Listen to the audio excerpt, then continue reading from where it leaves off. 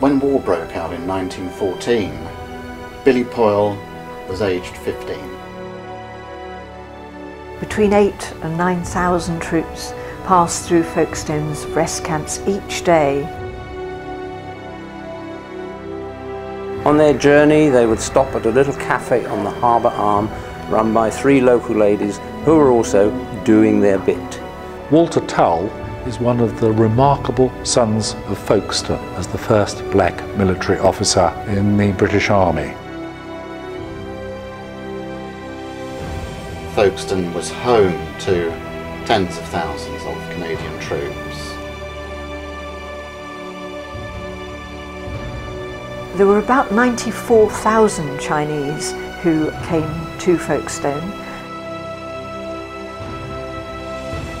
Over a quarter of a million Belgian refugees were handled here in Folkestone.